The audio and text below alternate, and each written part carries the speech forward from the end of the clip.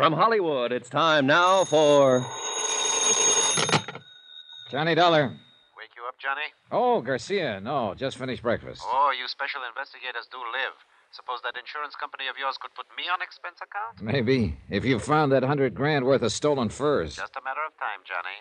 Now you're talking like a police lieutenant. How soon can you come down here to headquarters? What's up? Has the watchman talked? Crispin? No, he's still in a coma.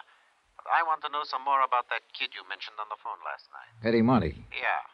Well, I I don't know. That was told to me in confidence. Look, Johnny, I'm going to talk to you like a policeman for a minute. A man named Weller was knifed to death last night. You told me yourself his death is probably tied in with that warehouse robbery. Another man is dying at Queen of the Angels. So, confidence or no confidence, I want to know about that kid. All right, Garcia. I'll be there in 20 minutes.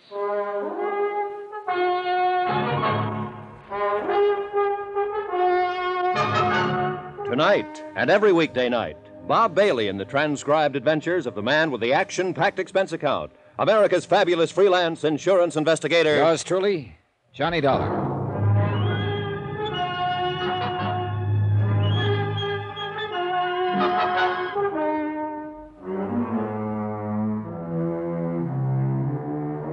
From Special Investigator Johnny Dollar, location Los Angeles, California.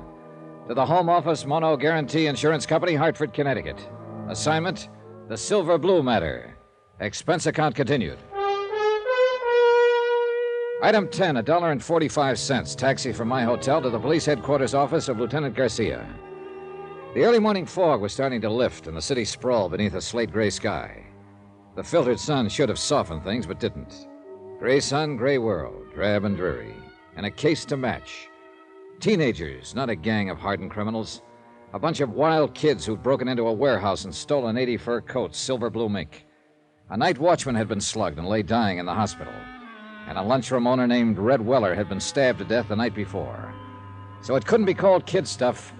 That term doesn't apply to murder. Run those four cards through, Joe. See what you can make on them. Thanks. come on into the office, Johnny. This madhouse out here get you frazzled before you know it. Oh, you police detectives have it pretty soft, Garcia. That's news to me. Teletypes, photo files, record cards, crime labs. How'd you like to try working alone? On your expense account, I could suffer the hardship. Now let's go in here. Have a seat, Johnny. Thanks. Yeah. Did I put the fear of the Lord in you on the phone? Uh, you were real impressive. Well, the chief was breathing down my neck. Uh, then I'll stop trembling. Kidding aside, Johnny, I've got to know just how that Monte boy figures in this. Did I say he even figured in it at all? No, you just wanted some information on him. But he figures all right. You didn't come out here from Hartford to look up the nephew of an old friend. Oh, I've done crazier things at times. He's got a record. You know that? No? Petty stuff, no convictions. Huh. Gang brawls, auto pilfering, vandalism, intoxication. Interrogative attitude, sullen, hostile, antisocial. Yeah, that's quite a nephew you've got, Johnny. Black sheep of the family. What's the story? How did you get onto this kid? Look, amigo, I made a promise on this. I hate to break it. It's murder, Johnny. This kid's sister worked for Red Weller in that lunchroom across the street from the warehouse. Her name is Carla Monty. She's five years older than he is. They live together. Their parents are dead. So? So I put some pressure on her, and she told me she thought her brother Eddie might know something about the robbery. She took me to a pool room to meet him. How was he supposed to have known about it? Hearsay? No, no. She admitted later that she suspected him of being mixed up in it himself. Things he'd said, the way he acted. She asked me to help her try to keep him out of trouble. I think he's already in trouble, Johnny. Yeah, so do I. And I think she does too. What did he have to say when you talked to him in the pool hall? Several things, but they added up to two words get out. When I wouldn't, he did. Hmm. Why do you think Red Weller was killed, Johnny? Well, I think those kids used his lunchroom as a lookout post to spot the prowl car that was patrolling that area. As soon as it passed, they pulled the job. It figures all right. I think Red realized it when he thought back and knew who the kids were. I think that's what he was going to tell me. So they found out what he was up to and knocked him off to shut his mouth. Yeah, it adds up, Garcia. Oh. Now, tell me about her. Carla? Hmm. What's to tell? She's just a girl, like millions of others. Decent, hardworking, and real sweet.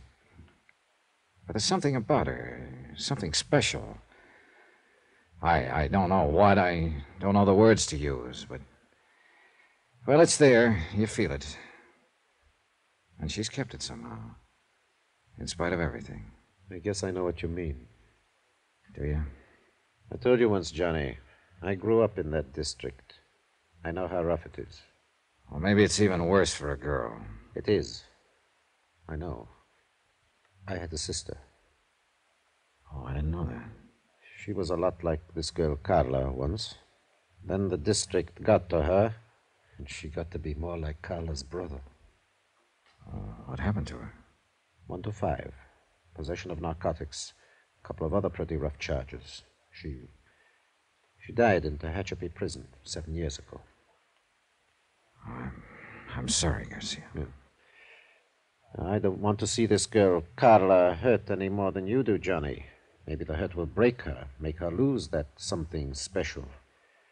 But I've still got to pick up her brother and bring him in for questioning. Expense account item 11, a dollar and 90 cents. Taxi to the Weller lunchroom to see Carla Monte. Lieutenant Garcia had a police detail checking known fences and borderline dealers specializing in furs. But so far, none of those contacted had been approached by any member of the warehouse gang. Albert Chrisman, the night watchman who had been slugged during the robbery, was still in a coma, unable to talk. So Carla remained my best, in fact, my only lead to the case. The lunchroom was closed. I paid off the taxi, walked three blocks to Carla's apartment house, climbed the stairs, and knocked on her door.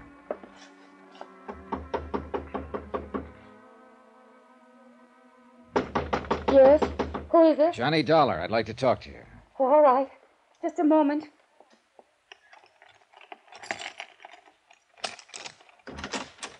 Come in, Johnny. What were you expecting? A major invasion? I don't know.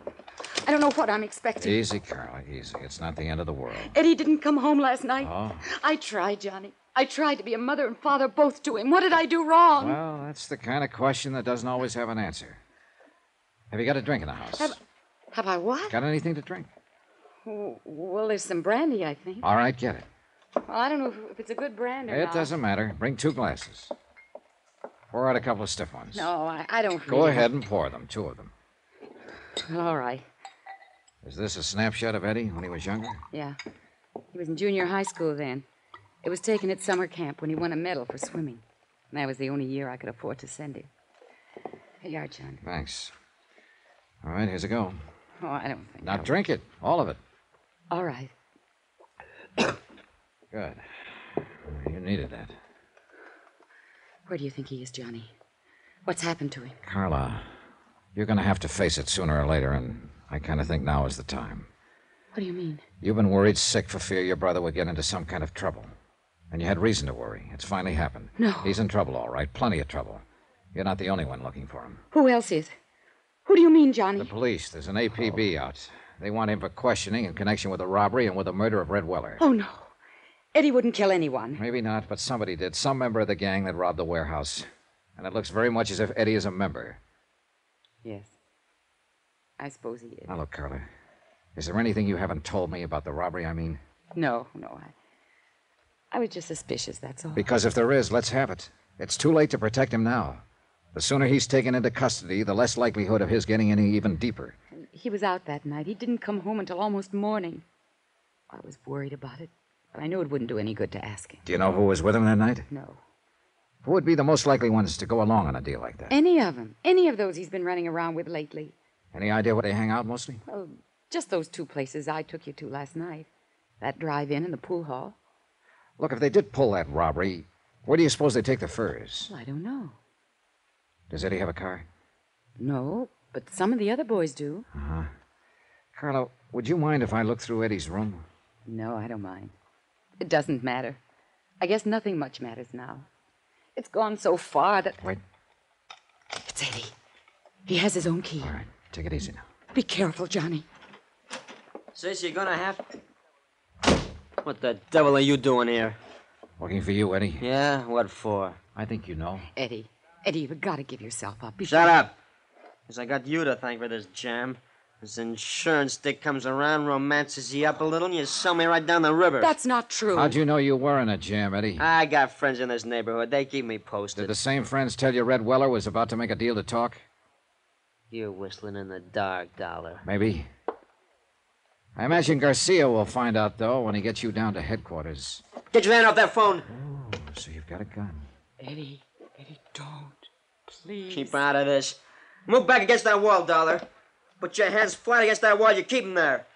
Give me some clothes, Carla. Come on, make it fast. What are you going to do, I Eddie? said, give me some clothes. All right, Eddie. You're wrong, though. You're making a big mistake, Eddie. It's no use running. You'll only. Eh? Eddie, What's the matter? down there in the street. A police car just pulled up. You're lying. Stay where you are, Dollar. I'd kill you, Carla. You're that one that brought him here. Trying to let him trap me. I think I'll pull a bullet in you before I leave. You fire one shot and you won't have a chance. They'll be in here before you can get out of the hallway. You better make up your mind, Eddie. Well, you've still got time. Stay where you are, Dollar. Don't try to come after me. Eddie, please, give yourself up, Eddie. Stop him, Johnny. I'm afraid it's a little late. Why did you let him go? There was no choice, Carla. He'd have killed you if I'd moved. Well, you'd better give me that list of his friends. The police will want it. Heaven help him. Yeah. That's about all that can help him now.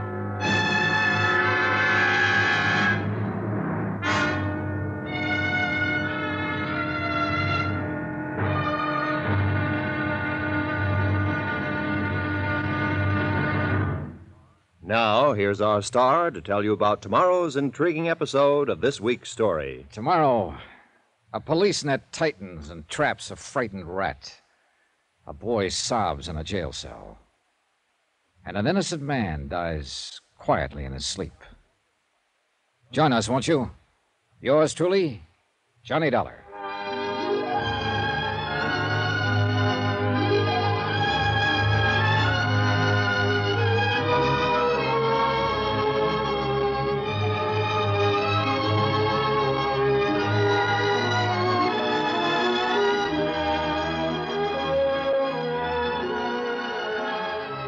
Yours truly, Johnny Dollar, starring Bob Bailey, is transcribed in Hollywood. Written by Les Crutchfield, it is produced and directed by Jack Johnstone. Be sure to join us tomorrow night, same time and station, for the next exciting episode of Yours truly, Johnny Dollar. This is Roy Rowan speaking.